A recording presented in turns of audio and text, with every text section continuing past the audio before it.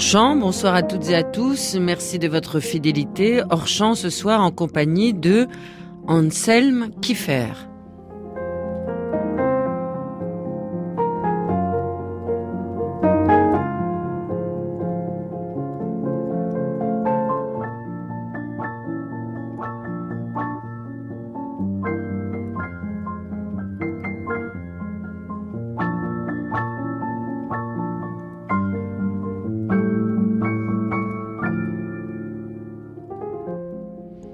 Je suis très heureuse de vous recevoir car j'admire votre œuvre depuis très longtemps, comme bon nombre de Français qui vont pouvoir euh, d'ailleurs écouter vos cours au Collège de France, puisque cette année vous venez d'être nommé professeur au Collège de France.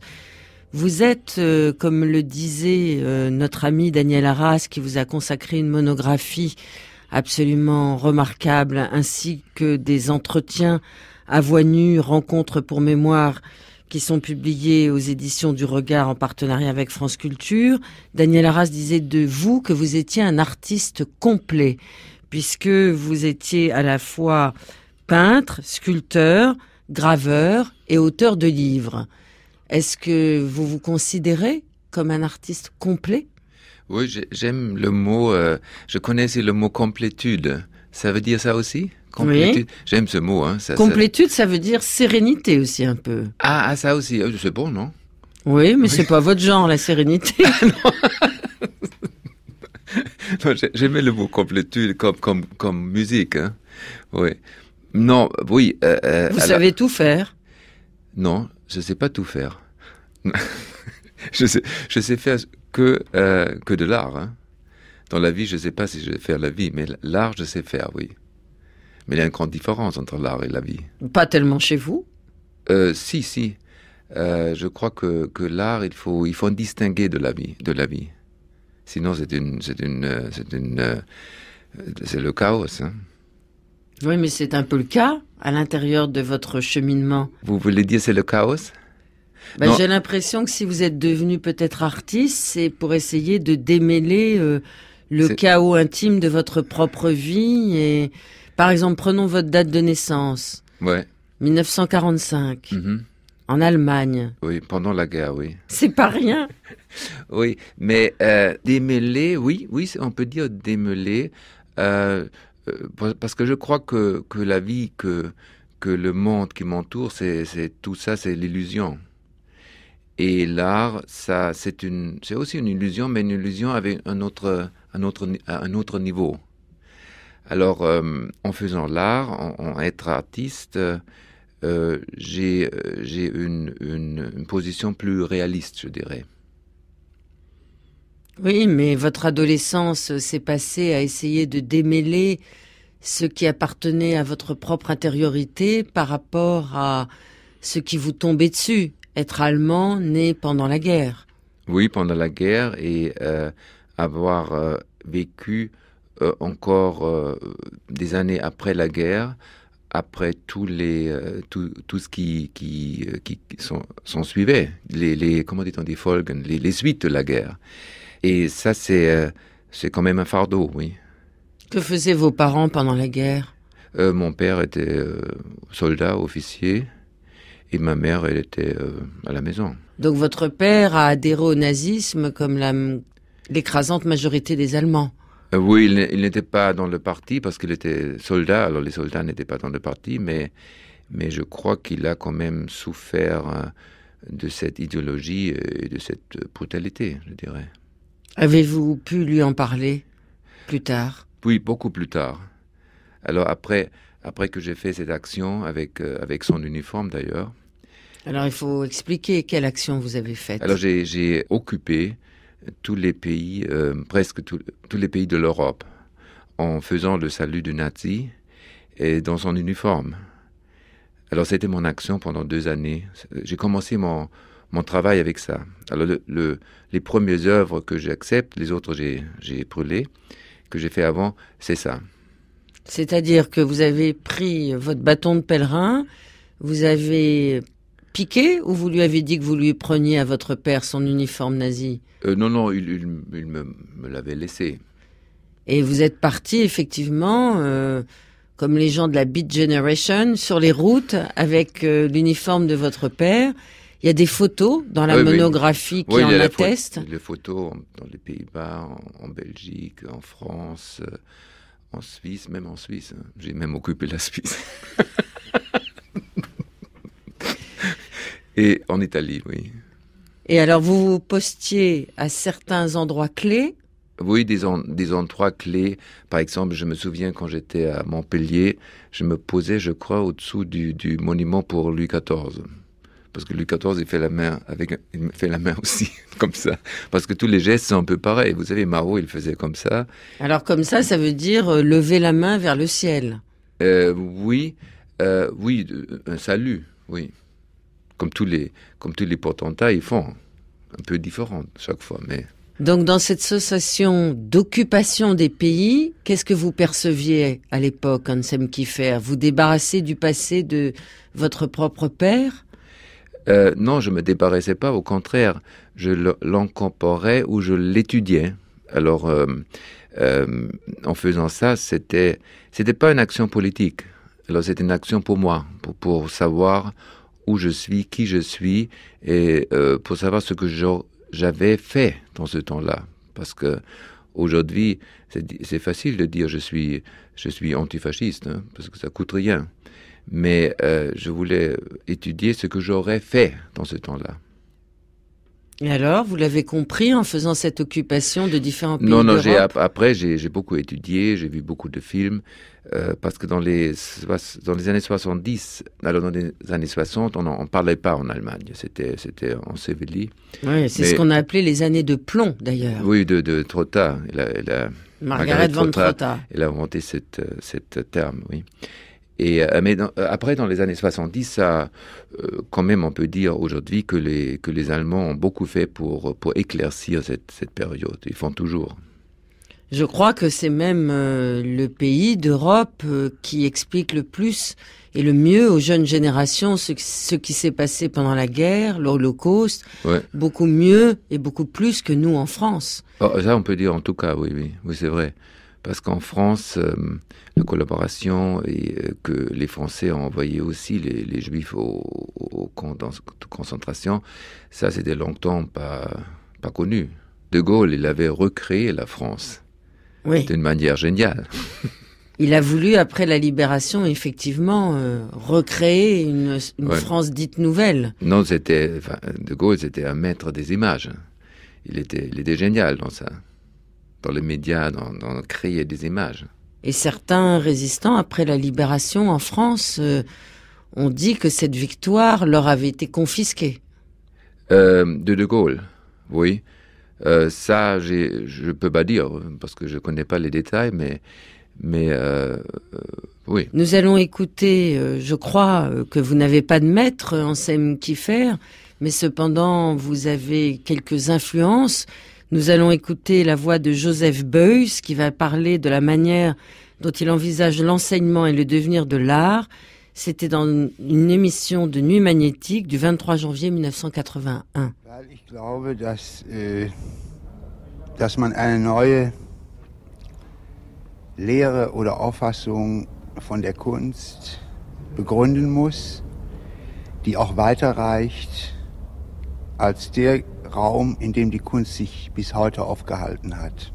Je crois qu'il faut fonder aussi un nouvel enseignement de l'art qui va plus loin que le terrain sur lequel euh, se meut actuellement l'art en général. Ich glaube zum Beispiel festgestellt zu haben, dass diese Epoche, in der die großen Innovationen durch künstlerische Persönlichkeiten beispielsweise ja die Moderne, was man die Moderne nennt, begründet haben, dass diese Epoche zu Ende ist. Also wir befinden uns, das ist meine Meinung, am Ende der Moderne. Il croit que l'époque des grandes innovations, c'est-à-dire l'époque moderne, touche à sa fin et qu'on arrive actuellement à la fin de cette époque de ce qu'on appelait la moderne. C'est son avis. Aber das Ende der Moderne bedeutet nicht das Ende der Kunst, selbstverständlich. Vielleicht ist sogar dieses Ende der Moderne eine Möglichkeit für eine Kunstentwicklung, die sich auf die menschliche Entwicklung im Ganzen beziehen kann und also eine anthropologische Kunstepoche begründen kann. Das würde aber bedeuten, wir hätten es mit einem erweiterten Kunstbegriff zu tun. Cette fin d'une époque ne signifie pas la fin de l'art, mais est au, au, contraire une possibilité de l'évolution de l'art, même de l'évolution euh, de l'histoire euh, humaine, donc d'une euh, façon anthropologique de l'art, mais ça voudrait dire qu'il faudrait élargir la notion de l'art. Revendiquez-vous l'influence de Joseph Beuys, Anselm Kiefer sur votre œuvre? Et pensez-vous qu'effectivement euh, nous assistons de notre vivant à une renaissance d'un art nouveau? Euh, Oui, alors pour, pour euh, vous me demander de revendiquer, non, je, je, je crois qu'il est le, le plus grand artiste européen après la guerre mais il faut corriger quand même l'image qu'on a toujours. J'étais pas dans sa classe, alors j'étais jamais à Düsseldorf. Euh, euh, au contraire, je, je, je venais peut-être deux, trois, quatre fois chez lui pour lui montrer mes œuvres. Ça, c'était. Et vous étiez très jeune à l'époque et il vous a encouragé. Euh, oui, oui. Alors, il trouvait, c'était le, le seul, je crois. Non, le, il y avait deux qui trouvaient mon action intéressante. Sinon, j'avais beaucoup de protestes, protestes, c'est clair. Et, euh, mais j'ai souvent beaucoup discuté avec lui son volonté politique. Alors, je trouvais, par exemple, d'installer la, la, démocratie directe, je trouvais complètement absurde. Parce que la, la démocratie directe, ça nous, ça nous euh, mène immédiatement dans l'abîme. Et sur le plan artistique? Alors sur le plan artistique, je, je trouve que, je l'ai dit, il est le plus grand artiste après la, après la guerre. Mais vous n'avez rien emprunté à sa pratique artistique. Vous avez emprunté, c'est un mot un peu drôle, mais, mais, mais on ne peut pas diviser les, les, les influences ou, ou, les, ou les on dit? Les Oui. Euh, parce qu'on est, on est connecté avec beaucoup de choses. C'est pas seulement euh, son professeur. Ou c'est, c'est, on est connecté avec, avec des influences qui sont, qui sont encore plus, plus anciennes, du, du, du Moyen Âge, du, du, de la Renaissance. Et euh, moi, je me sens toujours une partie d'un grand fleuve. Et, euh, je ne peux pas dire euh, ça c'est à moi, c'est strictement à moi, ça, ça, vient d'un autre. Je ne peux pas dire ça. Dans, l'Académie des Beaux-Arts, déjà, c'était très drôle. Il y avait toujours des étudiants qui disaient Ah, il a, il a pris mon idée. Il a volé mon idée. Mais je trouve ça absurde parce que les idées, ils sont là. Et ils sont et on peut trouver que dans, des, euh, dans un temps, en un certain temps, même les inno innovations scientifiques, ils étaient faits euh, en même temps à des endroits complètement différents. Alors, euh, il y a toujours une, une, une, fleuve de temps qui est partout. En même temps, vous signez vos œuvres, en Non, je signe jamais. Mais pourtant, on voit quand même des traces de votre peut-être pas de votre nom, mais des échos de votre nom dans certaines de vos œuvres. J'ai devant moi. Ah oui, euh... ça c'est Deutschlands Geisteshelden, ce que vous avez devant vous, et ce Alors... sont des des des des, des héros, des des euh, des artistes euh, et des poètes qui qui euh, avec lesquels j'avais une relation. Mais jamais votre nom. Des échos d'autres noms, mais oui, pas, non, non, pas je, le je, vôtre. je signe jamais, non. Pourquoi? Ah, je trouve ça pas nécessaire c'est pas seulement moi qui l'a fait. C'est qui? C'est un. Euh, moi, je suis seulement le euh, le catalyseur, on peut dire, pour pour certaines choses, pour certaines certaines influences, pour pour pour des idées qui qui qui flottent, qui sont partout. C'est-à-dire que vous êtes un artiste branché à la fois sur le cosmos, sur la nature, sur l'histoire, sur la remémoration aussi. Oui, c'est l'histoire, mais l'histoire humaine, l'histoire géolo géologique et l'histoire cosmique aussi. Vous aimez beaucoup les étoiles? Euh, Oui, oui. Il n'y a personne qui n'est pas impressionné par les étoiles, je crois. Oui, mais vous, vous mais êtes même, un artiste, même... donc vous avez fait des constellations. Vous avez recréé des constellations. Ah oui, oui, oui, j'ai recréé des constellations parce que les constellations, c'est une illusion. Alors, quand vous regardez les étoiles, on voit pas très bien les constellations parce que c'est un peu c'est un peu inventé. Hein. On, a, on a essayé avec les constellations de se tenir à quelque chose, d'avoir un peu d'ordre dans le, dans le chaos. Mais tout ça, c'est illusion, on le sait. Alors les, étoiles, les, étoiles, qui sont là euh, au firmament, ils, ont déjà plus, ils, ont déjà, ils sont déjà éteints. Et la lumière a pris des, des millions, des millions d'années euh, pour venir ici. Et quand il arrive, quand on le voit, l'étoile, il n'est plus là. C'est ça qui vous intéresse d'ailleurs. Oui, c'est fascinant, non? On voit quelque chose qui n'existe plus. Mais l'art reste. L'art euh, Oui, mais vous savez, l'art, l'objet le, de l'art, le, le matériel, ça, ça, peut, ça peut... Ça peut pourrir. Ça peut pourrir. Et, l'idée est toujours là. Vous aimez bien ça d'ailleurs. Ah oui, oui, mes tableaux... il y a des problèmes parfois avec les collectionneurs, parce que parfois il y a des choses qui tombent, et, moi je, mets les tableaux aussi de, euh, euh, dehors, dans la pluie, dans la neige. Parce que moi je crois que un tableau c'est un processus, c'est pas un résultat. Vous aimez bien la décomposition Oui, mais pour moi la décomposition c'est aussi euh, la composition. Alors je compose en décomposant. Vous aimez bien le travail du temps sur ce que vous faites, euh, soit une sculpture, soit. oui, je demande, je demande la nature de m'aider. Et donc euh, cette nature-là, ça peut être euh, le soleil, la neige, le vent, la pluie. Oui, parfois l'acide ou le ou le ou le la hanche, la hanche, c'est La hache. La hache, la hache, oui.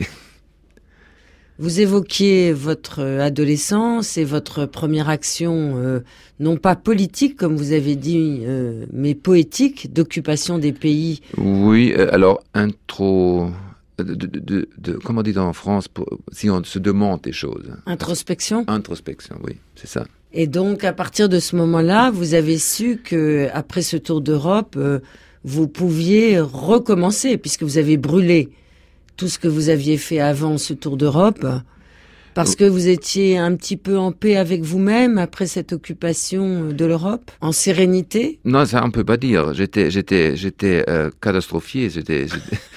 C'était, encore pire avant. après mais, mais, mais, pour moi, pire ou pas pire, c'est pas un mot pour moi. C'était, c'était plus la vérité bien ou pas bien, c'est pas un mot pour moi. C'est pas un paire de mots qui, qui, qui exprime quelque chose. Pour moi, pour moi, c'est, c'est pas la question si c'est bien ou c'est mal. Pour moi, c'est la question si c'est intéressant, si c'est la vérité. La vérité, ça n'existe non plus. Si c'est un, un, un, pas vers la vérité. Comment peut-on faire un pas vers la vérité? On peut, on peut avoir plus d'informations, on peut, on peut euh, avoir réfléchi plus, plus profondément et puis on est un peu plus proche. Mais on n'arrive jamais là, mais on est un plus un peu plus proche à la vérité.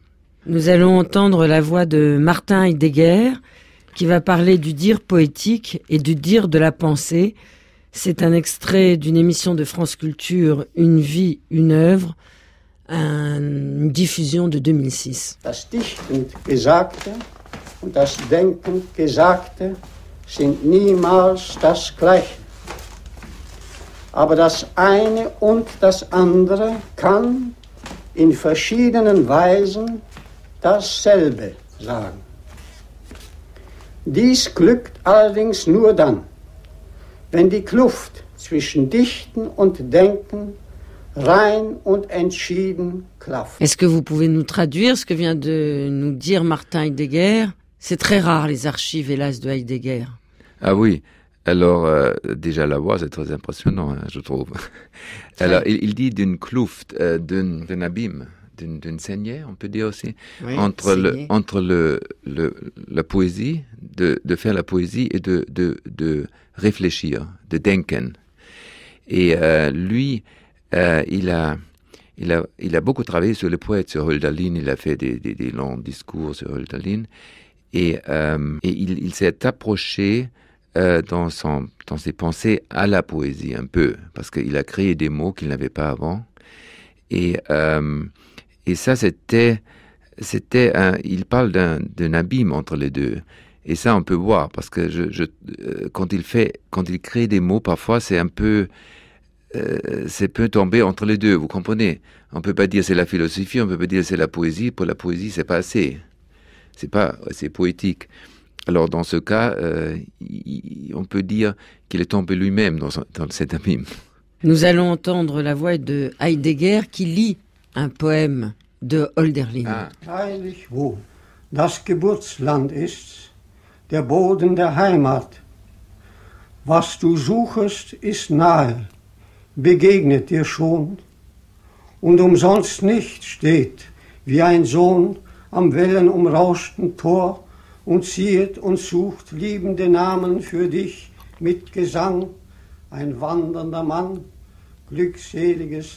La pensée de Heidegger a irrigué votre œuvre, Anselm Kiefer Ah oui, beaucoup. Et, moi, j'ai grandi 30 km à côté de lui.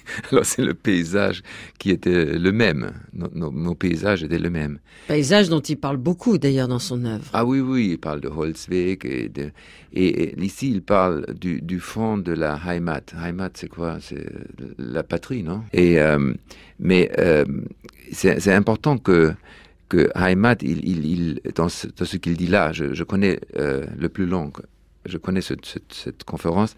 Euh, la Heimat, c'est pas c'est pas la, Heimat allemande, c'est la Heimat en général. Alors la Heimat, c'est pour lui, c'est en Grèce. Ça, c'est son Heimat et la Heimat de Hölderlin. Euh, et moi, je suis parfois demandé par des journalistes qu'est-ce que vous pensez du, du, du, du, euh, mot Heimat? Alors, Heimat, c'est un mot qui était abusé beaucoup pendant le nazi, pendant, les nazis. Et moi, je dis toujours, le Heimat, c'est tout de ce que je peux me souvenir.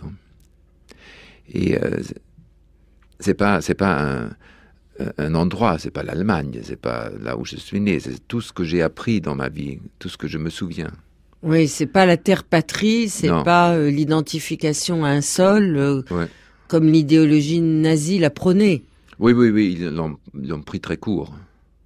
Et en même temps, quand on évoque Martin Heidegger, on ne peut pas euh, ne pas évoquer cette année en 1933 où il a accepté d'être recteur de l'université de non, Freiburg. Il faut, il faut dire, Heidegger, il avait un caractère affreux.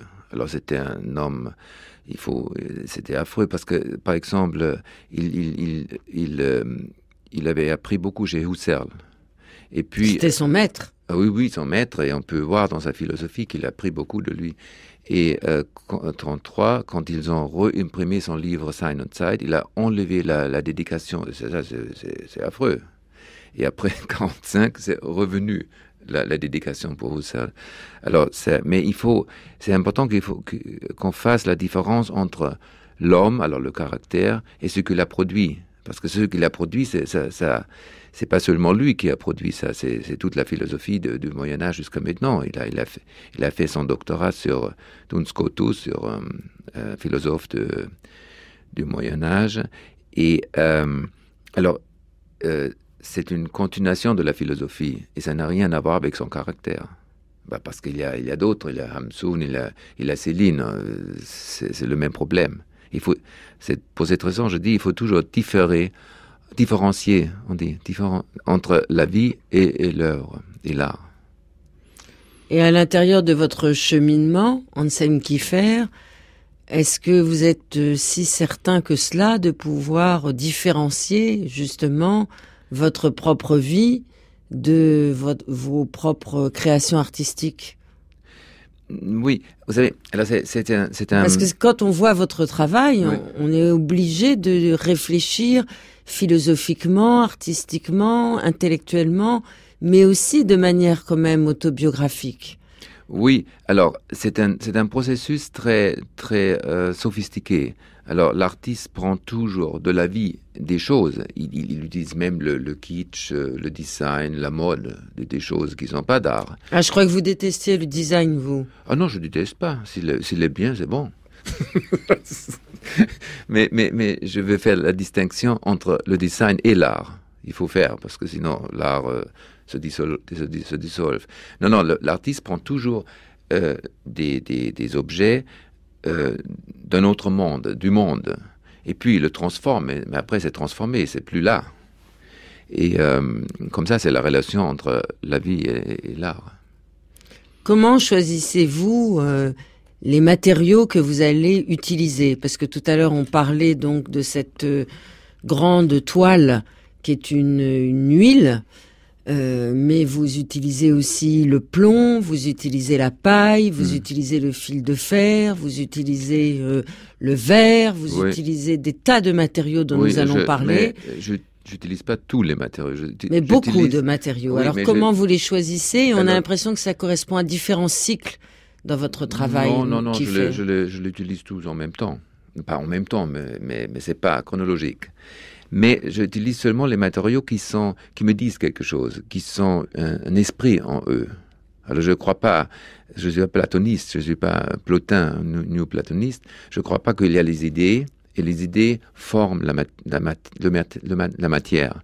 Je dis que la matière elle-même a déjà l'esprit en elle, il faut le découvrir, il faut le dévoiler, et ça c'est ce que l'artiste fait. Par exemple, j'ai sous les yeux, euh, je sais pas comment dire, une installation. C'est pas un tableau.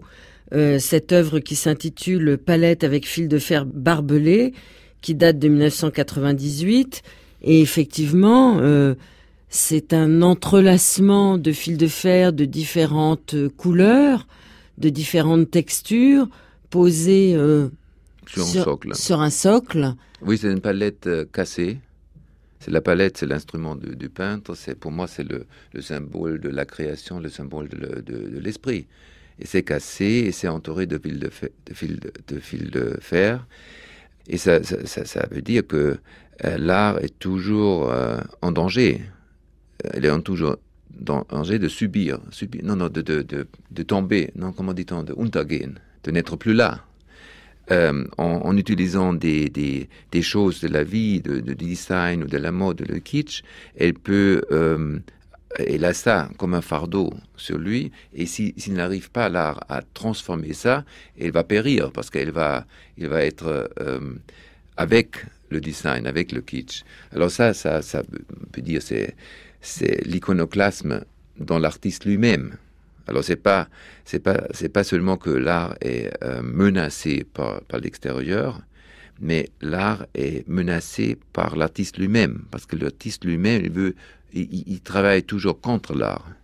Alors chaque période d'artiste voulait euh, détruire ce qui était ce qu'il y avait avant. Et l'art doit-il être menaçant? Ah oui oui euh, nuisif et menaçant et oui doit être dangereux. Et provoquer l'effroi Euh, provoquer oui provoquer aussi oui. Alors il faut expliquer, Ansem Kiefer, que après avoir euh, travaillé dans des ateliers qui n'étaient jamais assez grands, jamais assez froids, jamais assez inquiétants, vous avez décidé de vous installer euh, à Barjac, dans, en pleine nature. C'est peut-être un retour d'ailleurs à votre enfance et à cette euh, contrée pleine de forêts qui devait vous faire peur quand vous étiez petit. Ouais. Et Mais, mais à Barjac, il n'y avait pas de forêt. non, Il y avait un des, des plateau. garrigues, ça s'appelle Ouais. oui, oui. Comment vous avez choisi cet endroit et comment vous avez construit cet atelier euh, véritable labyrinthe euh, et qui est une sorte de ville euh, souterraine aussi? Euh, oui, vous avez, c'était pas tellement moi qui ai choisi, c'était ma femme. Alors, je- je- dans ma vie, je suivais toujours les femmes. Pour, pour, Vous avez raison. Oui, absolument. Elles savent ce qu'il faut faire. Elles ont la puissance. hein. Et euh, c'était pas, c'était pas, c'était pas toujours évident, mais de plus en plus, ça, ça devient évident et c'est mieux. Parce que si on, si on voit le pouvoir, c'est mieux que de ne pas le voir, le, voir mais, mais ça, ça gère quand même. hein. Bon. Qu'est-ce que c'était la question?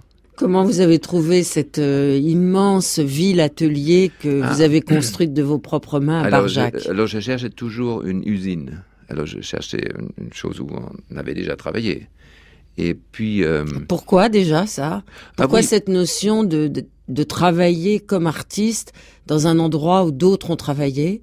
Oui, parce que je peux me anschließen, je peux me mettre, euh, je peux continuer.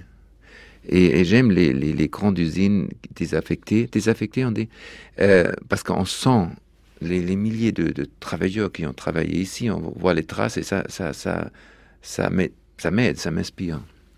Et là, j'avais une liste euh, d'un directeur de Jacques Lang du Pavillon, que j'aimais beaucoup, et il m'a donné une liste de, de filatures au sud de la France. Alors, je crois que j'ai vu 80. il y avait beaucoup. Euh, et puis j'ai choisi celle-ci et puis je, je me suis installé là. Installé, c'est le cas de le dire. Euh, installé, oui, j'ai commencé à travailler là. C'est-à-dire que vous avez construit un espace, ou plutôt habité plusieurs espaces dans cet espace immense. Non, d'abord il y avait la filature et puis j'ai commencé à construire. Des, des, j'ai construit 50 bâtiments là. J'ai fait des, des, des kilomètres de, de chemin. euh, C'était une vraie entreprise là. Et euh, j'avais l'aide du, du, euh, maire de, Barjac qui, qui m'a laissé faire. hein. C'était très bien parce que euh, c'était pas c'était un env- environnement qui qui n'était pas tellement habitué à l'art. Mais ce maire, il était communiste, il avait une certaine culture, alors il comprenait ça. Alors pouvez-vous nous expliquer ce que vous avez fait à l'intérieur de cet atelier de Barjac qui est devenu une sorte de ville bien réelle alors qu'elle paraît euh, euh, comme souterraine, euh, phosphorescente, avec beaucoup de bifurcations, de chemins secrets, Hmm. de pièces particulières. Oui, alors les, les bâtiments que j'ai édifiés, ils sont tous liés par des tunnels souterrains et par des et l'idée aussi de, de, de- par des tunnels euh, dans l'air.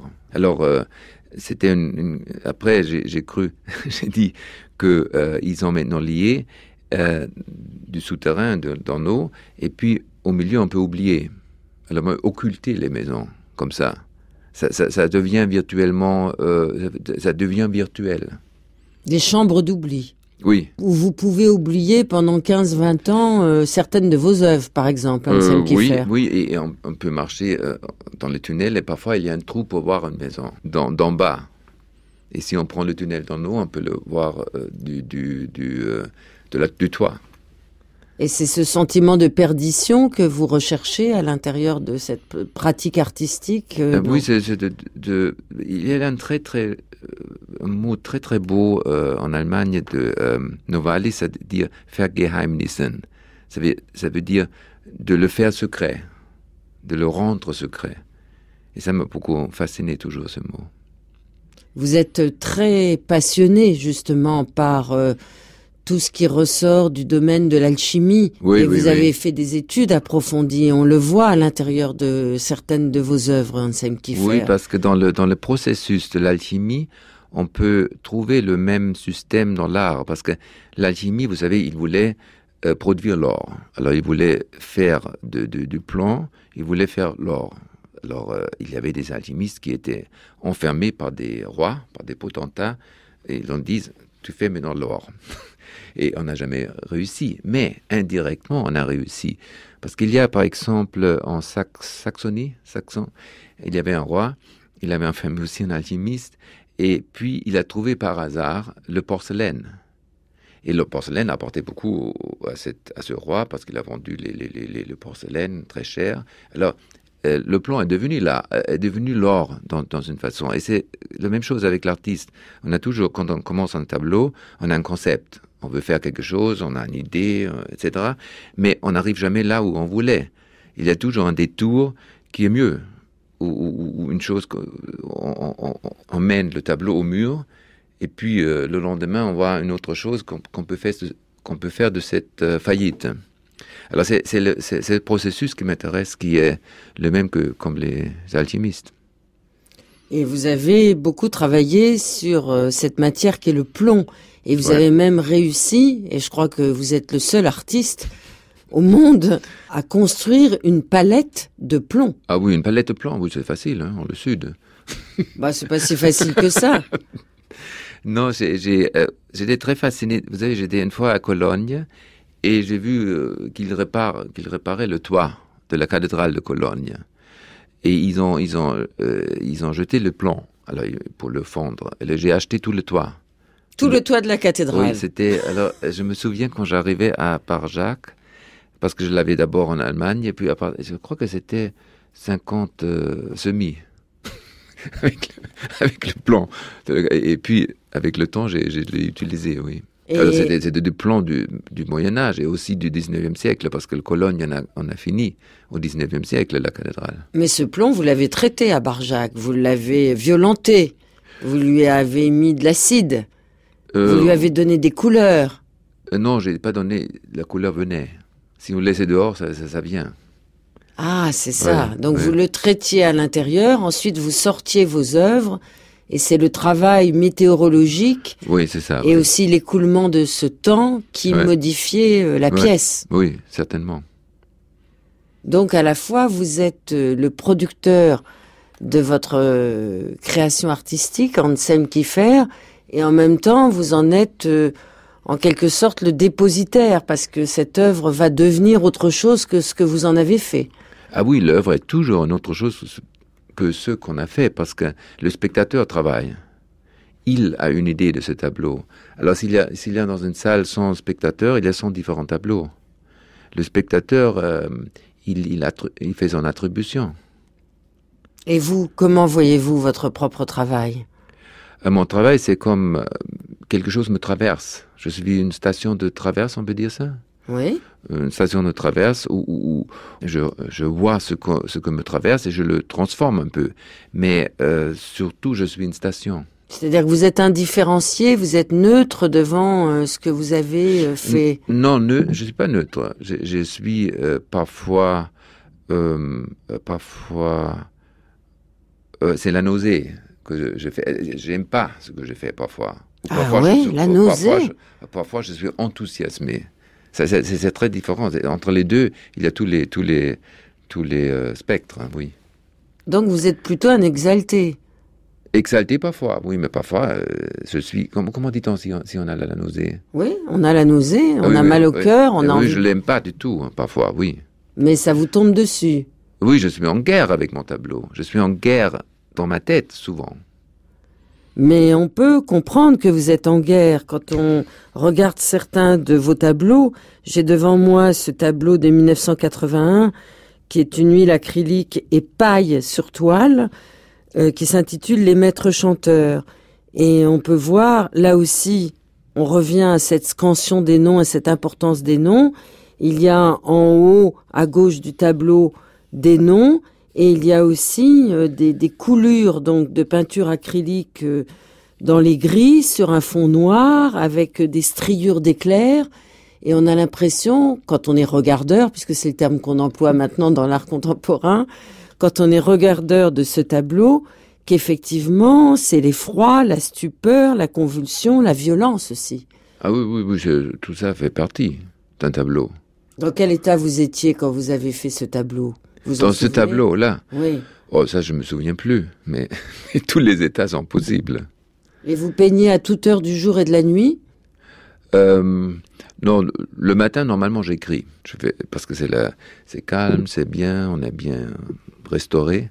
Alors j'écris d'abord, normalement. Oui, parce qu'il faut savoir, Anselm Kiefer, que vous êtes là aussi le seul peintre, je crois, au monde qui avait une production euh, de livres euh, aussi importante, peut-être voire plus importante que celle euh, de vos peintures, euh, de vos gravures. Oui, alors les, les, les livres, ils sont pas écrits. Ils ont fait, ils ont peint, ou il y a des photos. Il y a aussi d'écriture, mais, mais ils ne sont pas des journaux ou des trucs comme ça. Non, mais ce sont des objets. Disons des objets, on peut les tourner les pages, etc. Et les livres, ça fait, ça fait plus que la moitié de mon, de mon œuvre. Le problème, on peut pas le montrer très facilement. J'avais une exposition chez Yvon Lambert euh, cette année. Euh, Parce que c'est monumental. non, non, souvent. non, non, il y a des petits comme ça. A- Là, vous pas- montrez une feuille de papier. Je suis pas lié aux monumentalités, hein, pas du tout. Non, mais vous êtes passé par la monumentalité à un moment. Les, les gens m'aiment voir monumental, mais je suis pas seulement monumental. Je suis très, très. Humain, trop humain. Oui. non, non, les livres, ça fait une grande, ça fait 60% de mon œuvre. Mais on peut plus le montrer parce qu'il y a tant de visiteurs dans les, dans les galeries, dans les musées. Si on, si on laisse feuilletonner les livres, avant je le faisais, euh, et après c'est fini. Alors, ces livres, je crois, sont, Ils sont dans des inspirés. vitrines. Ils sont dans des vitrines. Alors c'est, frustrant pour le public. Oui, parce que c'est c'est des objets qu'on a envie de toucher, peut-être Oui. même de caresser. Non, de, de tourner les pages surtout. Oui, et puis de, Ouais. les, de les prendre euh, sensuellement aussi. Ah parce oui, que c'est des absolument. objets Ah, très important. doux. Ouais. Et je crois que ces livres sont influencés euh, dans votre démarche, Anselm Kiefer, par deux poètes. Nous allons entendre euh, Paul Celan qui va lire son poème Psaume. Niemand knetet uns wieder aus Erde und Lehm. Niemand bespricht unseren Staub, niemand.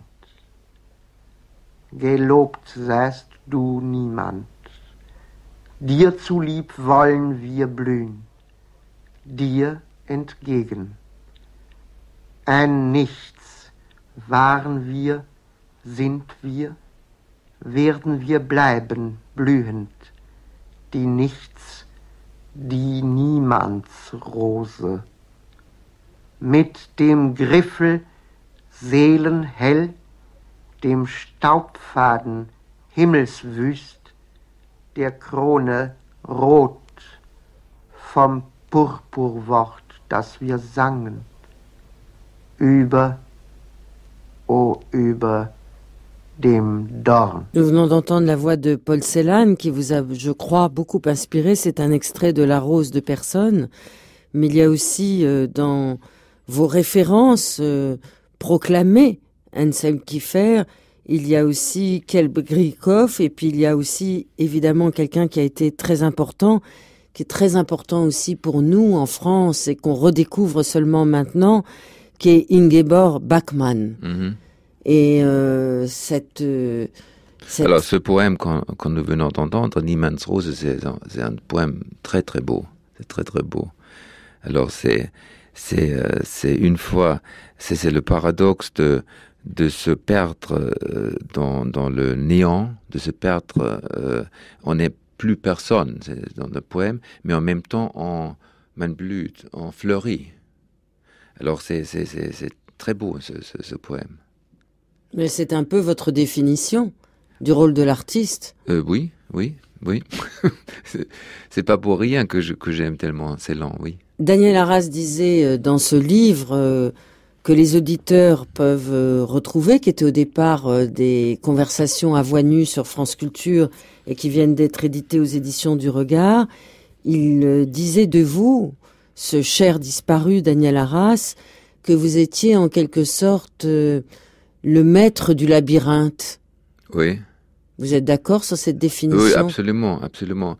Pas un labyrinthe euh, comme à, à, Cré- à Crète, parce que cette labyrinthe, il y a un film qui, mène, qui mène à un, but, qui mène à un point. C'est un- c'est une sorte. euh, euh, J'ai un labyrinthe sans fil, je dirais, parce que le fil, il va dans une seule direction. Il est, il est, il est, euh, oui, il est dirigé.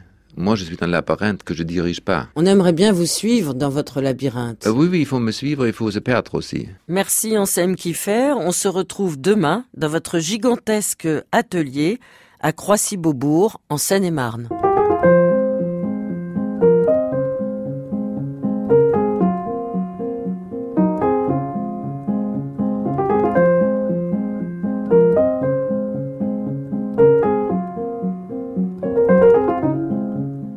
Merci à Élodie Royer, Corinne Amar, Julien Rosa, Cédric Châtellus, Anne Kobilac, Didier Lagarde. Vous écoutez France Culture.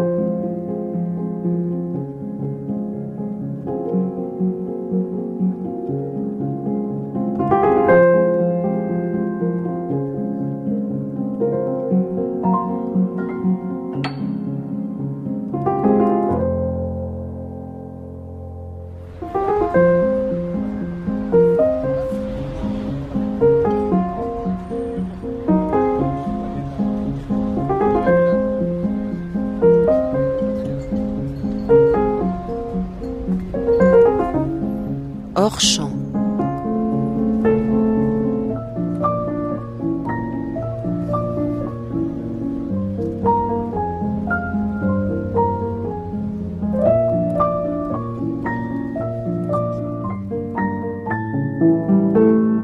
Bonsoir à toutes et à tous. Merci de votre fidélité. Orchamp ce soir, en sem Kiffer deux.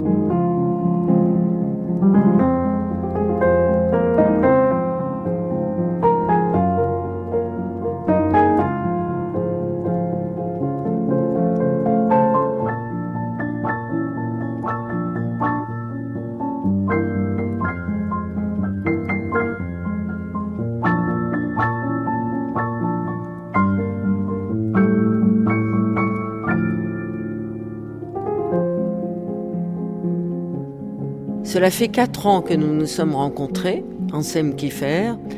C'était dans un studio de la Maison de la Radio. Et aujourd'hui, c'est dans un de vos ateliers. Je dis l'un de vos ateliers car vous en avez plusieurs à travers l'Europe. Ici, c'est celui de Croissy. Alors, j'ai eu la chance de faire un petit tour et même un grand tour dans ces ateliers qui sont immenses. Euh, Qu'est-ce que ça veut dire un atelier?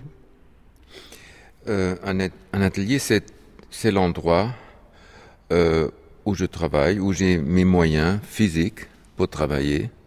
J'ai pas besoin d'atelier normalement pour travailler, mais, comme mon travail est matériel aussi, alors j'ai besoin d'un endroit de certaines choses pour pouvoir produire. C'est-à-dire des matériaux. Des matériaux, oui. Alors, j'aimerais avoir partout des ateliers. Je me souviens quand j'étais euh, dans les années 80, j'étais souvent en Israël. Alors, j'avais beaucoup d'endroits où j'aurais aimé avoir un atelier ou quand je vais ailleurs, euh, soit en Ukraine ou n'importe où. euh, souvent, euh, je me dis, il faut avoir un atelier et dans beaucoup d'endroits dans le monde, j'avais déjà commencé à, à négocier avec les, avec les, les propriétaires pour, pour un endroit et, et à la fin, j'ai pas fait. Mais je suis toujours très prêt de me niederlassen, was heißt niederlassen, de me installer, De vous poser. de me poser, c'est le mot, poser, oui. Mais les ateliers sont comme des villes, en quelque sorte. Vous pourriez ne pas les quitter, vous pourriez y vivre de manière autarcique. Je pourrais, mais c'est pas mon mon idéal.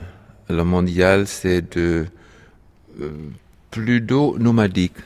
C'est-à-dire que vous conjuguez euh, la passion du voyage, puisque vous, vous avez beaucoup voyagé, vous continuez à le faire. Vous prenez beaucoup de photographies, et puis c'est au retour des voyages que l'accumulation des images et des idées euh, s'élabore. Oui. Alors j'ai voyagé beaucoup dans les années 90. Je crois que j'étais euh, pendant cinq ans, j'étais trois ans en, en voyage dans les années 90. Et maintenant, je voyage moins parce que j'ai tant de photos, j'ai tant d'impressions que que je peux en euh, daraus schöpfen, je peux en tirer. Vous avez tout dans la tête et tout dans les carnets. Eux dans le carnet, dans, le, dans les négatifs, dans les photos et dans la tête aussi, oui. Que veut dire pour vous euh, le mot monumental? On se souvient de votre installation à Monumental il y a quelques C'est années. pas moi qui a, euh, qui a inventé le titre monumental. Oui, mais le Oui. mot monumental, Oui. est-ce que ça signifie quelque chose pour Non. vous? Non, pas dans le sens normal. Alors, il y a, il y a des de Koning, par exemple. Il y a des tableaux qu'il a fait, euh, euh, qui s'appellent les Havana Paintings. Et ils sont, je crois, 1,50 sur 1,50. Ils sont très monumentaux. Ils ont un geste, un seul geste comme ça. Et, et ça, c'est monumental. Ça dépend pas de, des mètres carrés. C'est pas la dimension ni le regard. Non, non, non, non, c'est, c'est une conception. Et comment voyez-vous l'espace? Alors, il y a l'espace, il y a l'espace, euh, le cosmos, il y a l'espace euh, de notre petite planète, et puis l'espace de la ville, l'espace où je travaille. Et ce sont des différents espaces, oui. Là, au moment où nous parlons, nous sommes environnés de certaines de vos toiles qui ont différents formats, mais elles sont quand même très grandes. Comment découpez-vous l'espace et comment décidez-vous du format d'un tableau? Alors, normalement, le format d'un tableau, c'est, c'est euh, l'espace que je peux atteindre avec mes, mes bras, qui est, alors, c'est la, c'est la euh, proportion de mon corps, parce que je travaille avec le corps aussi. avec la tête aussi, mais, mais, mais je suis, c'est très physique ce que je fais. Je danse plutôt pour faire un tableau. Et comme ça, les, les tableaux sont toujours d'une façon que je puisse les jeter ou, ou je peux, avec un, avec un, un, bras, non, un pinceau, un pinceau plus lent ou, ou si je jette la couleur, que c'est, que c'est atteignable. Et les installations, comment les concevez-vous dans l'espace toujours? Alors l'installation, c'est une autre chose. L'installation, c'est quelque chose où vous pouvez marcher. Et là, il y a, il y a différents aspects. Vous êtes un peu plus loin, vous êtes là. Et, et, et euh, j'ai une propriété très, très grande au sud de la France où je peux, où je, je, me, je me promène. Ça, c'est Barjac. Oui, c'est Jacques, oui, oui. Alors c'est plus qu'une propriété, c'est une sorte de, de ville à la fois euh, souterraine avec euh, Ouais.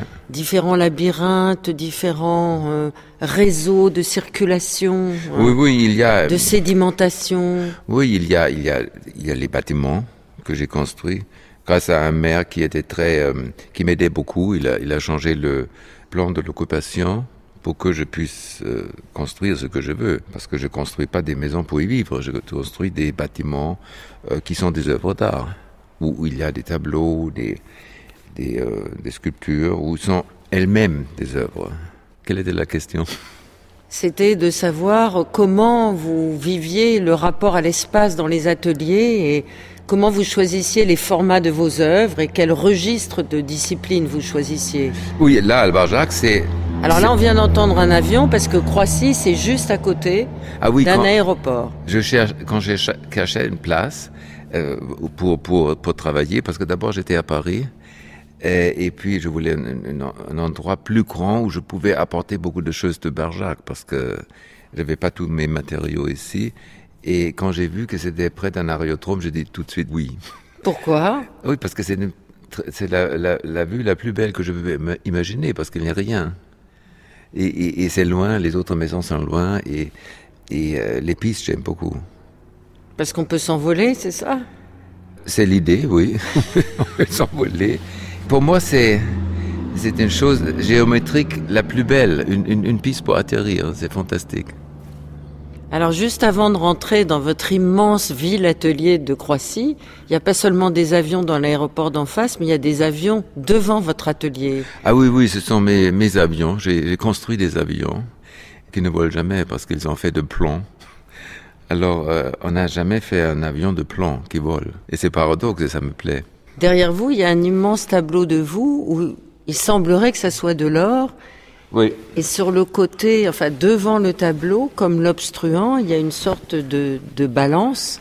Et sur la balance, il y a manifestement des lingots d'or, non? C'est le tableau Cain et Abel. Cain et Abel, cette histoire est située à la transmission du nomade de, de, de, de la, de la peuple juif qui est devenu sédentaire.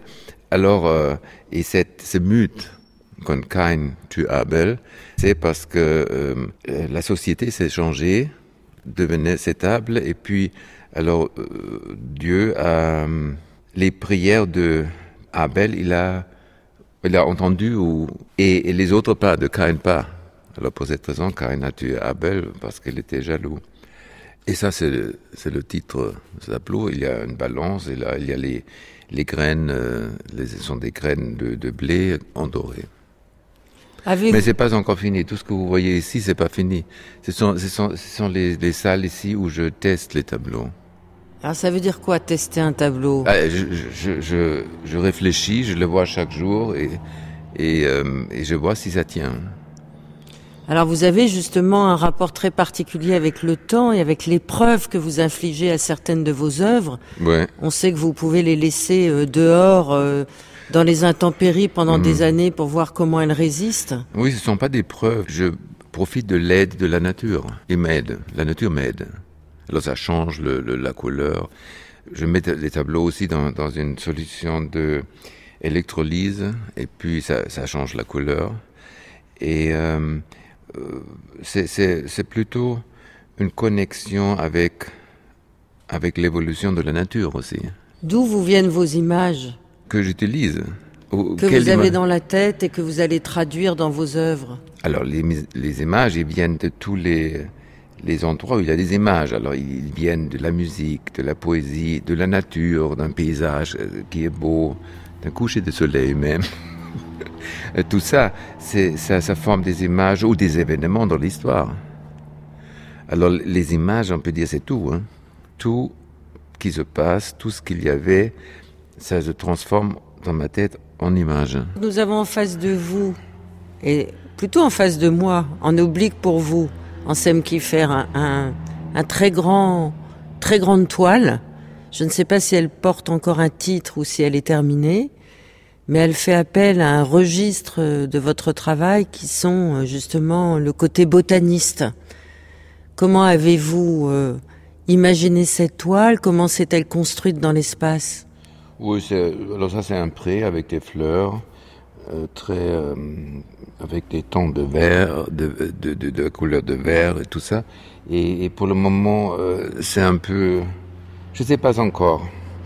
D'abord, je voulais que ça soit le dormeur du Val, le titre. Quand, quand, quand j'ai vu, voilà, peut-être c'est c'est le soldat qui, qui gît là-bas, de Rimbaud. Et maintenant, je suis encore à, je sais pas encore. Il, il est, pour le moment, il est trop beau, je trouve. Ça veut dire quoi, trop beau? C'est vrai qu'il est beau. Ça veut dire euh, que s'il est trop beau, c'est affirmatif. Et je veux pas être affirmatif parce que euh, il faut toujours un truc qui inverse le tableau. Vous savez, qui qui qui le laisse pas comme ça affirmatif pour. Alors peut-être je trouverai une chose pour le faire. Euh, pour, le, pour le accomplir. Ou... C'était pas encore dans l'électrolyse. Donc c'est pas du tout la beauté que vous recherchez, ni la sensation de beauté pour nous qui allons regarder votre travail. C'est l'incertitude plutôt. Je, je, cherche la beauté. Alors par exemple à Barjac, ici aussi, même ici euh, dans cette côté industriel, j'ai des, j'ai planté des roses, j'ai planté en bas des, des, des, champs de roses, et j'aime beaucoup les fleurs. Hein. J'aime les couleurs, c'est vraiment, j'aime beaucoup, mais j'ai mauvaise conscience quand je le fais. Pourquoi? Oui, parce que c'est pas, c'est pas la vérité. C'est quoi la vérité? Alors c'est la ruine de l'Europe? Non. Ce que vous traduisez aussi artistiquement dans une énorme partie de votre travail. La ruine de l'Europe, je dirais pas, parce que j'espère que l'Europe reste, parce que c'est la seule, c'est la seule euh, possibilité d'exister en Europe. Je veux pas exister seulement en Allemagne. Oh bah, vous êtes un artiste international maintenant. Euh, oui, mais mais quand même, vous savez, depuis que je que je vis en France, ça fait maintenant depuis 92, ça fait maintenant quelques années, je me vois plus allemand. Alors dans, dans la confrontation, non, c'est pas une confrontation, dans la dans l'opposition.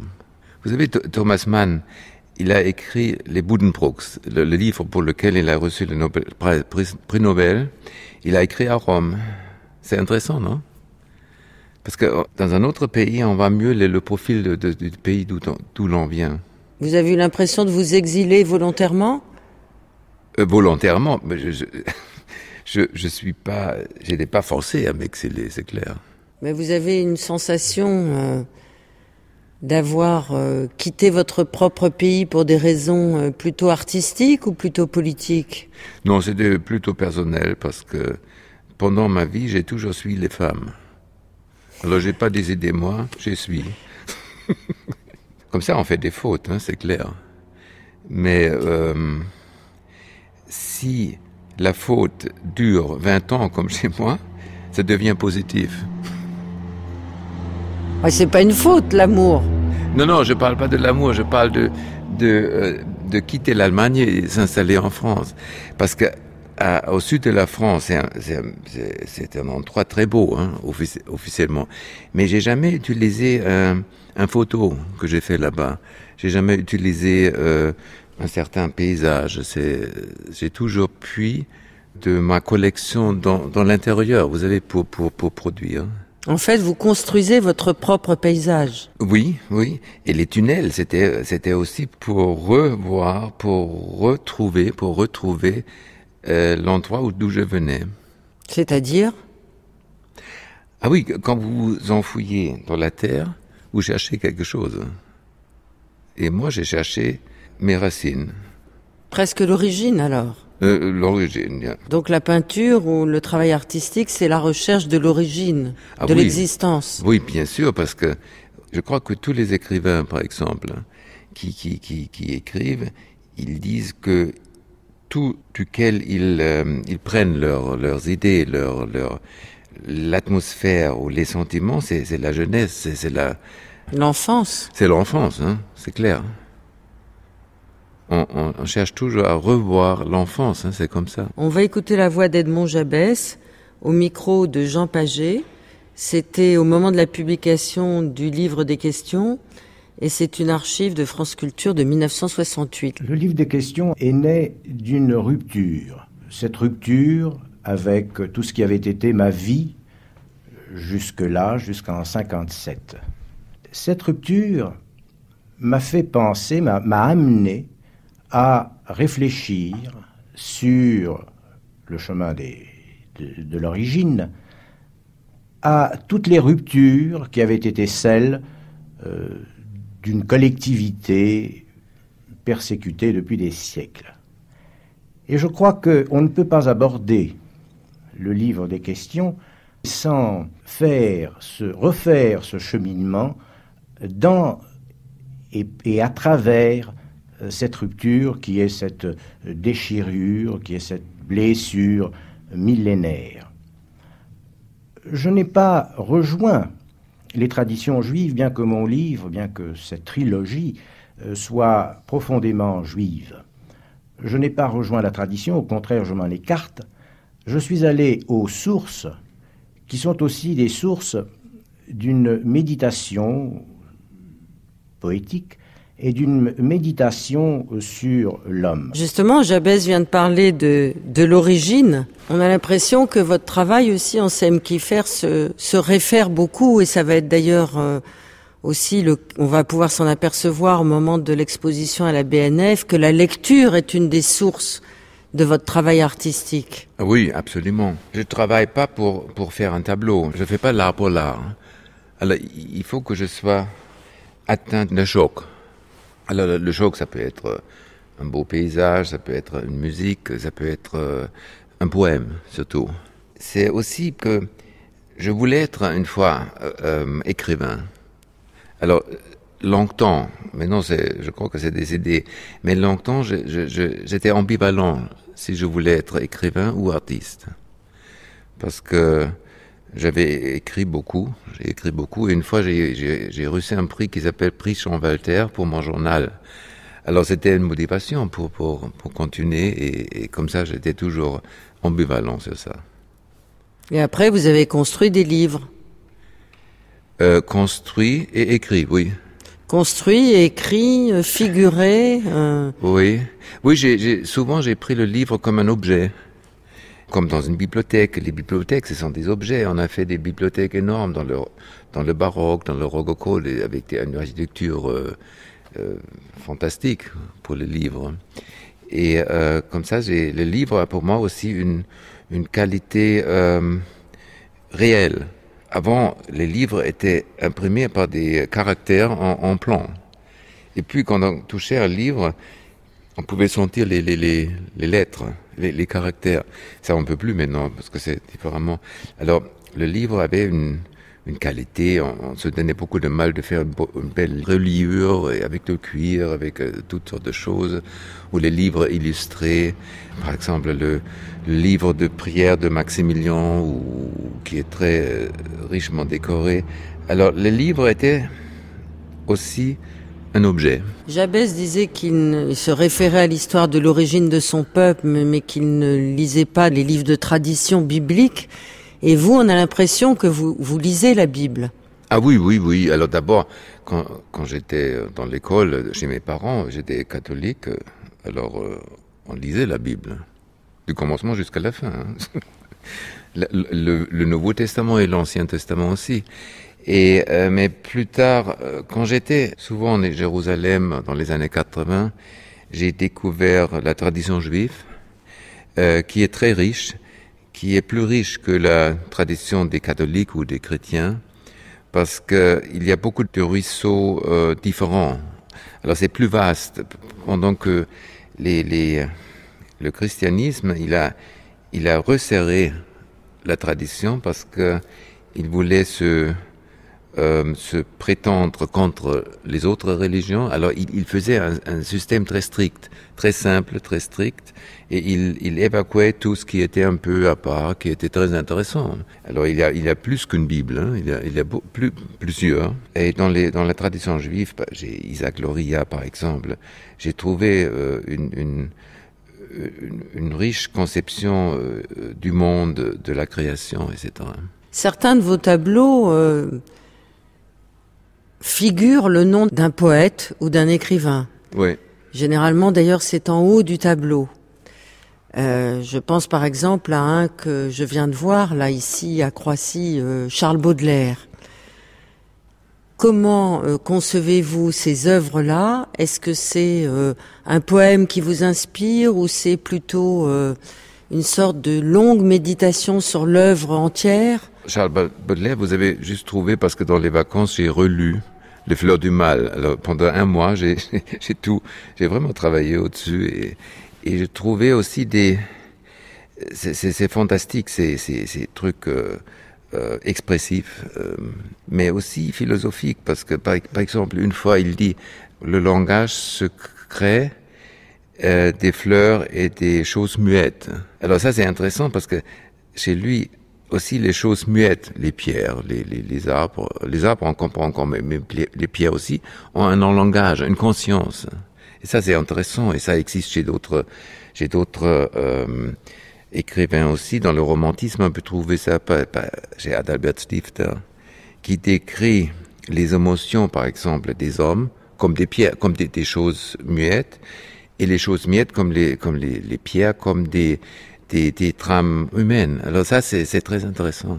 On lit toujours, vous savez, quand on lit les, les, poèmes, après dix ans, on les lit, on les lit différemment.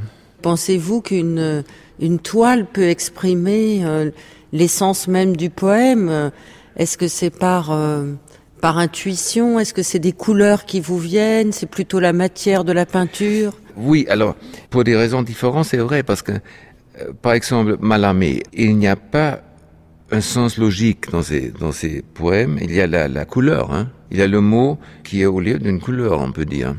C'était la, la nouvelle, la, nouveauté dans, dans, dans, la poésie, avec, euh, c'était déjà j'ai Rimbaud un peu, mais, mais j'ai Mallarmé encore plus, la qualité elle-même d'un mot, la beauté d'un mot, son sens. Et ça, c'est déjà, ça commence, pour cette raison, c'est, connoté avec les, tableaux aussi. Mais il y a aussi une, une, grande différence. Quand vous voyez un tableau, c'est là. Tout d'un coup, vous voyez un livre, et puis on ne peut pas l'ouvrir, contrairement à un livre. Et c'est aussi ça diffère aussi du, temps. Alors un livre, il faut le lire, il faut le temps. Même un poème, même si c'est court, ça, ça, prend du temps. Ça prend quelques minutes ou, une demi-heure pour, pour, pour, pour, le lire. Et ça se déroule comme ça. Pendant qu'un tableau ou entrer, hop, paf, c'est là. Et c'est différent. Après, il faut le découvrir, mais c'est complètement différent. Mais est-ce que vous n'avez pas l'impression de vivre un moment de l'histoire de la peinture où justement elle est en train de changer de, de définition même? Est-ce que vous ne cherchez pas à épuiser justement ce mot même de peintre? Ah, vous voulez que je stoppe de peindre? Non. Non. Que ça veut dire? J'ai l'impression que vous forcez presque les limites de la définition même de la peinture et que vous transgressez certaines règles. Ah oui, mais, mais ça, chaque artiste fait ça. Parce que si on fait pas ça, euh, alors on fait le maximum, euh, on peut dire aussi, ou, ou on, fait l'extrême. Mais ça, c'est normal. C'est avec toute activité, non? Pas chez tous les artistes. Est-ce qu'il n'y a pas une, conception à la malarmée, justement, dans votre travail? Mais malarmée, c'était extrême aussi. Il cherchait pendant, pendant trois jours ou, ou une semaine, il cherchait un mot. Non, c'est extrême aussi. Ou Matisse, c'est extrême dans l'abstraction quand il a fait les, les, trucs coupés. On va écouter la voix de quelqu'un que vous aimez beaucoup et qui vous a beaucoup inspiré, c'est Jean Genet. Ah On va l'écouter lisant les premières lignes du journal du voleur publié en 1949. C'est un document enregistré en 1976. Je suis né à Paris le 19 décembre 1910. Pupille de l'assistance publique. Il me fut impossible de connaître autre chose de mon état civil. Quand j'eus 21 ans, j'obtins un acte de naissance. Ma mère s'appelait Gabrielle Genet. Mon père reste inconnu. J'étais venu au monde au 22 de la rue d'Assas. Je saurais donc quelques renseignements sur mon origine, me dis-je, et je me rendis rue d'Assas. Le 22 était occupé par la maternité. On refusa de me renseigner. Je fus élevé dans le Morvan par des paysans. Quand je rencontre dans la lande, et singulièrement au crépuscule, au retour de ma visite des ruines de Tifauge où vécut Gilles de Rais, des fleurs de Genet, j'éprouve à leur égard une sympathie profonde. Je les considère gravement, avec tendresse. Mon trouble semble commandé par toute la nature. Je suis seul au monde, et je ne suis pas sûr de n'être pas le roi, peut-être la fée de ces fleurs. Elles me rendent au passage un hommage, s'inclinent sans s'incliner, mais me reconnaissent. Elles savent que je suis leur représentant vivant, mobile, agile, vainqueur du vent. Elles sont mon emblème naturel, mais j'ai des racines par elles dans ce sol de France nourri des eaux en poudre des enfants, des adolescents filés massacrés, brûlés par Gilles de Rais. Et par cette plante épineuse de Cévennes, c'est aux aventures criminelles de Vacher que je participe. Enfin, par elle dont je porte le nom, le monde végétal m'est familier. Je peux sans pitié considérer toutes les fleurs. Elles sont de ma famille. Si par elles, je rejoins aux domaines inférieurs, et c'est aux fougères arborescentes et à leurs marécages, aux algues que je voudrais descendre, je m'éloigne encore des hommes. Gilles de Rais. Et je crois qu'il figure dans un de mes livres. non, Jean Genet, c'était une grande, euh, un grand choc euh, que j'avais dans les années 60. C'était, non, c'était dans les, 60, dans les années 60 quand, quand j'étudiais encore. Et euh, j'ai tout de suite tout lu. Et aujourd'hui, vous relisez les œuvres des, des poètes que vous aimez? Ah oui, oui, oui, oui, je relis parce que c'était cette année, j'ai relu la troisième fois euh, L'homme sans qualité de Robert Musil et, et je, découvre, je découvre toujours des choses. Et, euh, et je relis aussi un peu euh, Jean Genet quand j'ai fait les conférences au, euh, Collège de France parce que je parlais de lui et j'ai relis. Oui, oui, je reviens souvent, sans d'autres pas. Alors justement, durant cette période où vous avez enseigné au Collège de France, euh, vous avez fait un cours sur euh, Vincent Van Gogh. Oui. Et en voyant certaines de vos toiles dans cet atelier de Croissy, j'ai pensé qu'il y avait peut-être une source d'influence majeure dans votre démarche artistique en Sem Kiefer. Oui, certainement. Parce que, alors, quand j'avais 17 ans, 16 ans ou 17 ans, euh, je faisais un grand voyage en autostop à travers, euh, d'abord à Zundert, en, en Pays-Bas, le Borinage après, puis Bruxelles, Paris, et puis euh, j'ai vécu longtemps à Fourques, c'est près de Arles, et euh, j'ai écrit un, un, un, ouvrage, Auf den Spuren Van Goghs, sur les, sur les vestiges de Van Gogh. Et euh, alors c'était, c'était, on peut dire peut-être euh, mon premier idole. Après, après euh, les saintes et le pape et tout ça. et aujourd'hui, vous avez encore des idoles?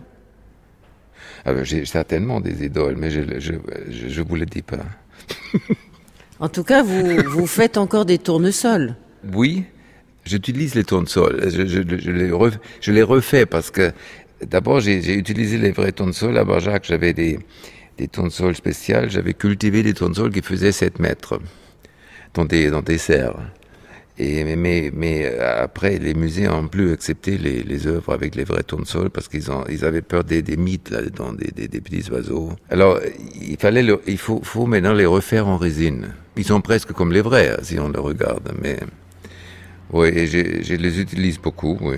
Alors, vos tableaux ne sont jamais euh, des surfaces planes. Il y a toujours beaucoup de matière. Non, il y a des aquarelles qui sont planes. Il y a des livres que j'ai faits euh, avec, des, avec des couleurs de, de, de l'eau, sont planes. Ça existe aussi. Oui. oui, mais là, dans la pièce où nous sommes, euh, tous les tableaux euh, utilisent la matière même. Oui, mais par exemple, celui, celui-ci là, c'est presque plane, celui-ci là. Et ça dépend. Je n'ai pas une doctrine. Hein. Je ne dis pas un tableau doit être épais. pas du tout. Est-ce que votre travail est fait pour être montré dehors ou plutôt dedans Alors j'ai fait des choses qui sont dehors aussi. Alors j'ai fait à Barjac des, tours de béton, euh, beaucoup de choses en béton. Et euh, mais les tableaux, je préfère un endroit pour les tableaux, parce que je crois qu'on peut détruire un tableau quand on le mélange avec d'autres tableaux dans une salle et ça ne fonctionne pas parfois. Alors euh, c'est bien d'avoir un, un endroit pour un tableau comme une chapelle ou quelque chose, et avec un seuil. Je suis pour le seuil. Comment vous aimeriez qu'on regarde votre travail? Oh, En tranquillité, concentré, avec l'esprit ouvert. Vous avez des idées tous les jours? Tous les jours vous travaillez? Ah oui, oui, oui, certainement. Ah, je travaille toujours. Quand je, quand je me promène, je travaille, je vois, je vois par exemple, euh, hier, euh, j'étais, euh, je me promenais il y avait c'était le soir et, et, la lumière était très différente. J'ai fait des photos. Alors, alors même en promenant, je travaille. N'êtes-vous pas guetté par la notoriété avec ces deux expositions en France et puis ces tableaux dans tous les grands musées du monde entier Est-ce que cette notoriété ne va pas atteindre votre créativité? Ah non, non, pas du tout. Non, pourquoi ça devrait m'atteindre? Bah parce que ça prend du temps. Oui, vous prenez maintenant mon temps, mon, temps mais, mais c'est pas si mal. non, si, si quelqu'un me rencontre comme vous et les questions sont intéressantes, j'aime je, j'aime ça, de, de, me, de communiquer. Mais vous êtes un solitaire. Euh, oui, je travaille seul, oui, c'est vrai. Mais un solitaire, vous savez, je suis entouré de beaucoup de gens qui sont morts ou qui ne sont pas morts. Alors je pense toujours à d'autres gens quand je travaille. Et les gens morts comptent autant que les gens vivants Ah oui, oui, je ne fais pas une différence. Vous parlez avec eux aussi Oui, absolument. Je les demande si, comment ils trouvent ce que j'ai fait. Et le plus souvent, ils disent c'est merde, c'est rien. je, je, demande la critique. Ils vous répondent, les morts? Ah oui, oui. Et souvent, c'est vraiment, c'est vraiment dur. Hein Ah, parce qu'ils sont plutôt méchants avec vous euh, Non, pas méchants, mais, mais, mais euh, ils sont critiques. Hein. Ce sont des gens souvent qui sont tellement bien, qui ont, qui ont fait des, des, des choses tellement impeccables, pour moi impeccables, que je suis euh, terrifié. Alors on va écouter la voix d'un mort qui est ô combien vivant dans votre parcours artistique, Ansem Kiffer, c'est la voix de Louis-Ferdinand Céline, enregistrée en 1959 au micro de Francine Bloch à propos du succès de Voyage au bout de la nuit. Voyage au bout de la nuit qui est omniprésent aussi dans votre travail. Ah oui, oui, quand j'ai lu ce livre, j'étais bouleversé, hein, parce que ce langage et, et euh, même en traduction, c'est, on peut on peut voir cet langage et puis et puis cette cette circuit qui mène toujours au pire, au pire. On croyait, mais non, c'est la fin. Il peut pas être pire. Et encore, c'est encore pire. Et, et, cette euh, accélération, je me demandais comment un livre si brut, si affreux peut être beau. Et c'est beau, hein. Et, le, poète lui-même n'est pas du tout beau. il, est, très, euh, il a un caractère euh, pas tellement bien, hein, on dirait. Et, comment ça peut être beau? C'est beau. C'est un livre communisant pour ce que c'est. Il était communisant. Euh, les communistes n'ont rien compris non plus. Euh, il était communisant et il avait une nouveauté de style, c'est-à-dire que c'est toujours la même petite préoccupation de faire passer l'émotion du langage parlé à travers les cris. Ah ben ça, vous comprenez ça Ils n'ont pas. Ils commencent un peu en ce moment-ci parce qu'ils sont abrutis, ils sont alcooliques et bref, ils ne comprennent rien. Alors, euh, peu à peu, ça vient. Il y en a déjà qui commencent à frémir un petit peu. Mais enfin, le truc est difficile. Il faut s'y coller, il faut faire beaucoup de boulot. C'est entre le verre et la prose, c'est un, drôle de machin. Alors, bon, retrouver, il faut du temps aussi. Et puis il faut l'isolement, il faut de la solitude, il faut un tas de trucs qui, ne sont pas du tout dans le commun, euh, qui ne sont pas du tout, sont très difficiles. Et alors, euh, je ne veux pas le dire, parce qu'on doit effacer le travail. Donc il ne faut pas qu'il voit le travail. Il faut qu'il croit que c'est facile. N'est-ce pas? Oui, le lecteur croit ah, toujours que c'est facile. Ben, le lecteur, c'est dans la même position, je l'ai toujours dit, euh, qu'un passager à bord du paquebot. Ben, un passager à bord du paquebot, il bouffe, il boit, il mange, il joue aux cartes, s'occupe des passagers mais il s'occupe pas ni de la passerelle, on dirige le bateau, ni de la soute, on le fait marcher. Mhm. mais non, non, non, il n'est pas là pour ça. Il est là pour se délecter. Ben, le lecteur, il est là pour se délecter. Alors, il se délecte ou il se délecte pas, mais enfin, il, n'a pas grand-chose à faire que ça. Il ne doit faire que ça. Je l'ai jamais entendu comme ça, à, à, ah, Il a une voix extraordinaire. Oui, oui, oui, oui, oui. Un peu comme son style, hein. Un peu... Donc les livres, ils sont jamais dans l'atelier, on n'en voit pas. là, il y a une bibliothèque au fond. Ah oui, je suis là, je lis là. Parce que dans la bibliothèque, ils sont tout de suite couverts de couleurs, trucs un peu plus libres. non, parfois j'ai un aussi un, dans mon atelier, mais mais euh, c'est là où je le matin où j'y vais, et puis je je, tire, je prends un livre et je le lis. Alors il y a aussi un matériau très important que vous utilisez de manière euh, assez discrète, c'est la photographie. Au départ, euh, la photographie, je crois que vous en faites tous les jours, tous les jours. Ah oui, oui, oui, oui. Tous les jours. Je sais pas euh, combien, j'ai pas compté, mais il a des centaines tous les jours de que milliers Dieu veut. de photos. Oui, oui. Vous pouvez pas passer une journée sans photographier. Si, si, je peux. Hein. Si. je, peux. Et vous les archivez, ces photos. Je peux tout, hein. Je peux passer sans, je peux Est-ce que vous pouvez passer une journée sans peindre? Ah oui, je fais ça. ça vous manque pas? Si, ça me manque. Mais euh, attendez, euh, c'est pas, c'est rare, mais ça, ça, arrive, oui. Mais j'ai mon un appareil de photo toujours avec moi, alors. Et qu'en faites-vous de ces photos? Alors parfois, je les prends comme sujet pour un tableau. Parfois, je, le, je fais des livres avec une séquence. Ou euh, souvent aussi, je les collé, je les agrandis l'ai collé sur, sur une toile et puis j'ai peint au-dessus. Je l'ai tué, le photo. Oui, je fais toutes sortes de choses avec les photos. Et comment utilisez-vous euh, finalement l'espace de la toile, une toile avec un châssis, par rapport à une aquarelle et par rapport à une couleur qui va presque disparaître? Oui, c'est différent. Alors, un, aquarelle, on n'a pas beaucoup de temps. Mais vous aimez bien le trembler, hein, quand ça disparaît un peu, quoi, quand ça... Comment ça disparaît bah ça, Il y a des contours qui sont pas forcément très ah. précis. Vous aimez bien le flou, les fantômes. L'idée de l'image fantôme, elle traverse beaucoup aussi votre œuvre. non, non, c'est comme dans la peinture aussi. J'utilise je, la qualité de la couleur. Ça, coule, ça coule. Alors j'aime ça parce qu'il y a toujours des, des apparitions, des, des, des surprises. Ça, ça, une couleur coule dans l'autre, fait, fait un autre effet et, joue avec ça. Mais il faut être vite. Hein. Il faut, on peut pas, on peut pas. Euh, il faut décider vite et, et, euh, c'est complètement différent d'un tableau. Un tableau, on peut le reprendre, on peut retravailler. Un aquarelle, euh, après un certain moment, c'est fini, c'est mort. Si c'est pas bien fait, c'est non, non, c'est différent, oui. Mais il y a aussi la notion du temps qui traverse tout votre travail.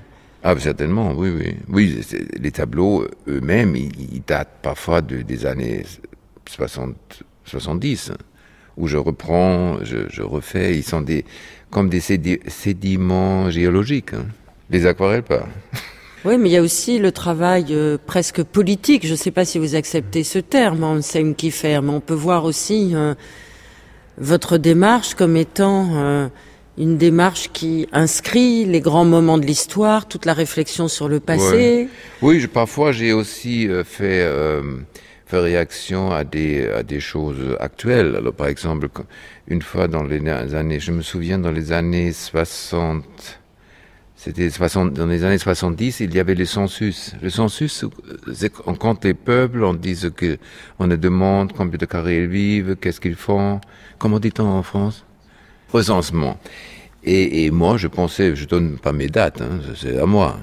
Combien, où je travaille, combien de mètres carrés, combien de lits, combien de trucs, je donne pas. Alors, euh, je voulais pas. Aujourd'hui, c'est ridicule parce qu'on sait tout. Hein. Mais là, je, je, me disais, je ne fais pas. Alors, il y avait le menacement de d'abord 100, 100 euros de, de, de, punition, après 1000, après 10 000 et après le prison. et moi, j'ai continué, j'ai pas donné mes dates. Et, et j'ai fait un œuvre avec ça. J'ai fait des, une grande, un grand conteneur de, de, de trucs avec des rideaux de plomb et j'ai impressé 60 millions de petits pois. Je l'ai montré d'ailleurs au Louvre une fois. Non, pas au Louvre, au, Pompidou. C'était dans l'exposition Magicien de la Terre. mais ils sont pas venus me, me prendre. C'était fini. Et ah, et j'ai aussi parce que une fois j'ai fait le 3, vous savez, et j'ai fait, j'ai euh, appelé le, le, jugement de la Constitution. Comment dit-on? Conseil constitutionnel. Alors j'ai appelé là. il fallait bien travailler parce que si on abuse ça, on a une autre punition. Vous savez, il faut, il faut qu'il voit, on est sérieux. Alors j'ai fait ça aussi, j'ai pas gagné, hein, c'est clair. Mais à la fin, ils n'ont pas venu me mettre au prison. Mais j'ai eu le leuvre après. Et dans tout votre travail depuis très longtemps, Sam Kiffer, il y a ce personnage, je sais pas si c'est une petite fille ou une jeune fille avec une robe euh, qui est entière ou qui est par fragments, mais qui parcourt beaucoup, beaucoup de vos tableaux.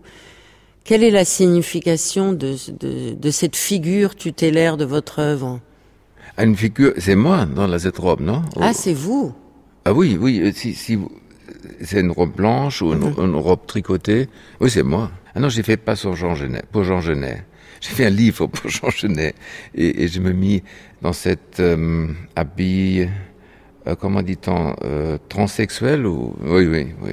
Et puis j'ai fait des photos et des aquarelles là-dedans et puis je lui, lui ai envoyé ça. Mais je sais plus où je l'ai envoyé. C'était à Kalima ou où j'avais une adresse de lui, je sais plus. Mais, mais ça, c'est perdu. Est-ce qu'on peut pas terminer cet entretien par euh, la description d'un de vos derniers tableaux? Euh, Ici, c'est pas des tableaux finis. Donc ça veut dire que 1, 2, 3, 4, 5, il y en a 7 vous travaillez tout le temps sur beaucoup de tableaux en même temps Actuellement, je travaille pas physiquement, mais, mais je, les, je les vois chaque, chaque jour.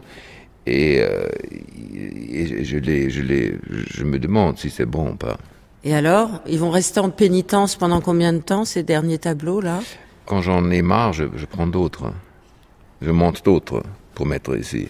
Et il y en a certains qui seront jamais terminés alors? Ah oui, il y a certains, il y a beaucoup qui sont à un certain état que j'aime pas encore et, qui me disent pas encore des choses. Et, et, euh, et d'autres, oui. C'est rare qu'un tableau euh, finit. Donc un tableau, c'est vivant alors? Ah, certainement, oui. Oui, c'est vivant. Parce que quand je fais quelque chose, d'abord, je je réfléchis pas, je, je travaille, je, je, mets les choses et puis euh, je, je, le mets contre moi. Et puis je me demande ce que me dit ce tableau. Alors c'est une conversation. Et parfois c'est muet, et parfois ça me dit quelque chose. Et est-ce qu'il y a l'idée d'achèvement dans votre travail? Ou est-ce que tout est en, au contraire euh, en La, suspens? euh, L'achèvement, c'est un mot pour moi qui est difficile. Hein. C'est plutôt des euh, contraintes extérieures qui, qui finissent un tableau. Alors si je dois faire une exposition, il me faut quand même quelques tableaux. Alors j'y vais et je prends les tableaux qui, qui sont les moins contradictoires, les moins difficiles. Au fond, okay. vous n'êtes jamais content de vous alors? Non, non.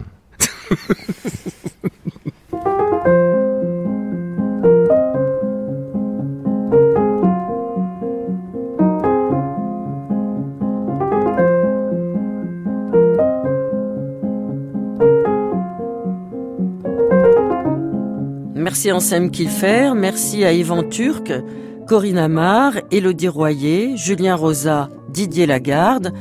Je rappelle que deux expositions vous sont consacrées en ce moment même à Paris. L'alchimie du livre à la Bibliothèque de France, François Mitterrand jusqu'au 7 février 2016 et au Centre Pompidou, une rétrospective jusqu'au 18 avril 2016. Vous écoutez France Culture, bonne fin de soirée.